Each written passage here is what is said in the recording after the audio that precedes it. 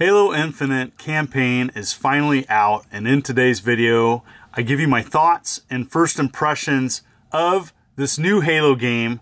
You know I've been a huge Halo fan and I've played all of them and I really think that it's a great franchise. It's really the backbone of Microsoft and I know there's many fans out there. So uh, I put about five to seven hours into Halo Infinite campaign.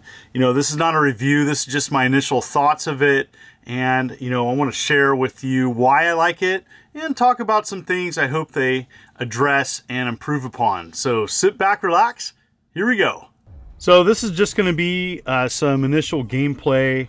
I'm going to give you my thoughts and feelings. I'm not going to try to spoil too many story elements, but I do want to talk about what I really enjoyed about this Halo experience. You know, last year they unveiled Halo, and I, I actually was a critic of it. I, I thought it needed some polish.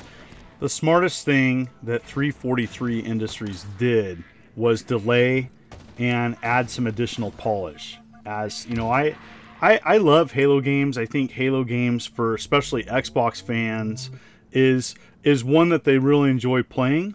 Uh, you know, for me, you know, this classic first person shooter franchise, you know, has evolved over time a little bit. I wasn't the biggest fan of Halo 5. I liked Halo 4 more, and I definitely like kind of the earlier Halo games as I felt that's what got the gameplay right.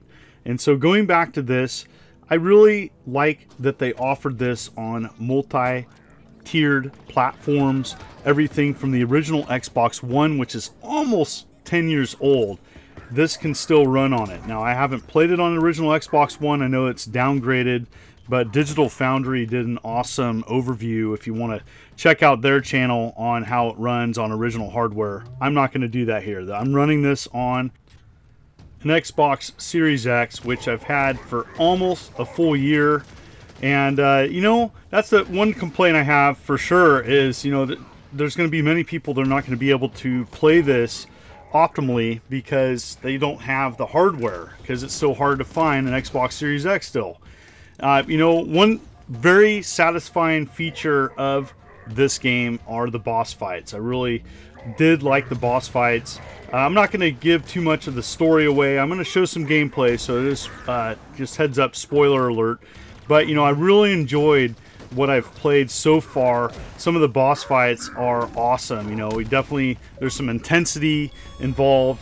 And, you know, the first few levels, if you haven't noticed, are not open world. They're kind of more traditional Halo uh, design. And so for people that kind of want to go back to an old school Halo game, it's, it's a nice introduction to this game, but it definitely opens up as you play it. The, the, the core gameplay of Halo Infinite is open world. And so you can find all sorts of cool things in this game. You, you can find audio files, you can find unlockables, and you can upgrade your Spartan. And I really like that, that you can upgrade and, and you can choose the upgrades too. I really think that's sweet as well. And so here's kind of a, a brief overview of the map and you can choose different destinations and choose different missions. Some missions are a lot harder than others. And so uh, I this is the part where I really wish that, that campaign co-op was available. That's probably my biggest complaint of this game is that so much of this game would be more enjoyable if you're able to share it with a buddy and play co-op. And so that's my biggest probably frustration is I wish that this did have campaign co-op as there's so much of this world that would be enjoyed and appreciated with a buddy. And so, but uh, I have to say overall, I really have enjoyed what I've played so far. The grappling in the game really opens up the gameplay and exploration. And so you see something, you can typically get to it. And I like that. I like that aspect. It has, it adds a, like an exploratory level to a Halo design game. And so I, I, think it was wonderful. I do like the level design. I found myself kind of exploring places and checking out things. And and I think that is probably the strength of this game. It goes from kind of more of a semi-linear direction of previous Halo games and it opens it up. And I, I, think it really adds an element that I think a lot of Halo fans are going to appreciate. Now, there's a lot of traditional vehicles in this game from previous Halo games, and you know, here's the Ghost, I, one of my favorites, especially in multiplayer. And you know, I really enjoy just going around, just mowing over people, taking them out. Uh, you know, and I think uh, that is going to be something I'm looking forward to as they update this game. You know, especially you know in a warthog with a with a buddy being able to go and take on different missions. As I think you know that's going to be a lot of fun. I think in future versions of this, but single player experience is still a lot of fun.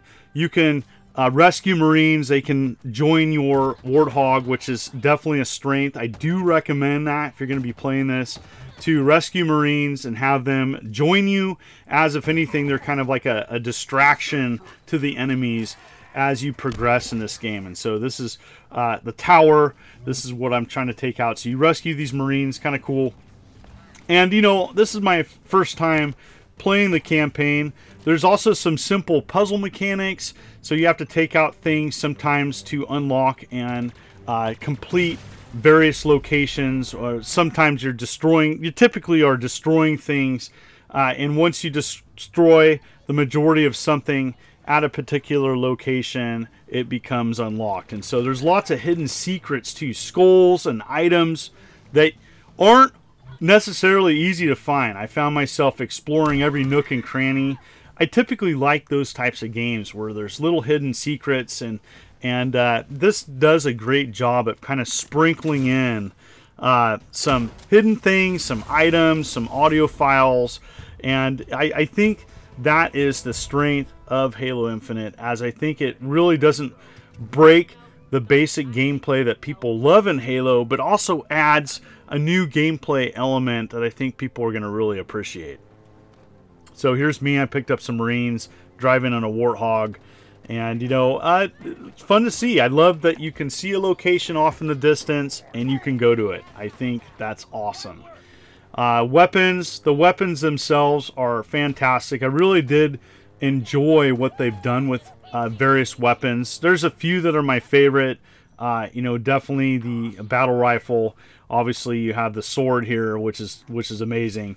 And so uh, I do like the weapons and what they've did. They are very satisfying from what I've played so far. And going to various locations and then um, you know either discovering them or unlocking them or then uh, turning them to your side. That's awesome. I, I love that. I love that you can kind of choose where to go to. And so once you progress in this game, I think that many people are going to like it. Now, I have not beat it. Um, I've I've heard that people would want kind of more diversity with kind of how the areas and levels look, but so far I really have enjoyed this. I really like the upgrade system too. I think that adds uh, a, definitely a neat element to gameplay as you know it's very important as you progress in this game upgrading your shield and you know the grapple shot is definitely one that many people are recommending and so while I haven't played it on the original Xbox One to see how it runs, I do have a good friend who's a big Halo fan who has an original Xbox One. He saw the reviews of this online and decided to pick up a physical copy of it. And he is overall satisfied with how it's running. And he's happy that Microsoft has not forgotten about people who have older hardware that this uh, can run on. And while it's not perfect, uh, my friend did state that he was very satisfied with what he has played so far, and it's nice to see that. While the game is not complete and there's additional modes that hopefully they'll add, overall, I think you definitely, if you're a fan of first person shooters or a fan of the Halo franchise, this is a worth at least checking out on Game Pass if you have it. It gets my thumbs up. Overall, I think it's a great experience. I do hope that they add additional content as I think it needs it, but I think it's a solid Halo. Um, I think if you're a fan of kind of the early Halo games, this definitely kind of harkens back to that gameplay. And I think it's overall a wonderful game. Is it perfect? No. I do think that uh, not having co-op as an option with this release, you know, that's going to be disappointing for some, but they do plan on adding that as well as Forge, as I know that is a huge, uh, wonderful addition to previous Halo games that many people love to play around and make their own levels. And there's a lot of creative people out there that are going to make some amazing things. So what did you think? Have you checked it out? It is on Game Pass. I did get a physical version of this from GameStop, the Steelbook version. And, you know, it came with a uh, a bonus uh, dog tag, and so that's kind of cool. And you know, I think overall it's it's it's a it's a good Halo so far. Uh, I plan on beating it over the holidays when I have more time, and just wanted to share my thoughts of this and share some gameplay. I think that many people out there, especially fans of the Halo franchise, are going to be happy with what they delivered. And so, thank you so much for watching my channel. I thought I'd do a fun video today for Friday, and I, as always, thank you for coming to my channel and watching my videos. If you're new and haven't subscribed yet, consider hitting that like and subscribe button and clicking the bell as I'm uploading new content every week. You folks are wonderful and beautiful. This is the Immortal John Hancock, and you have a good day.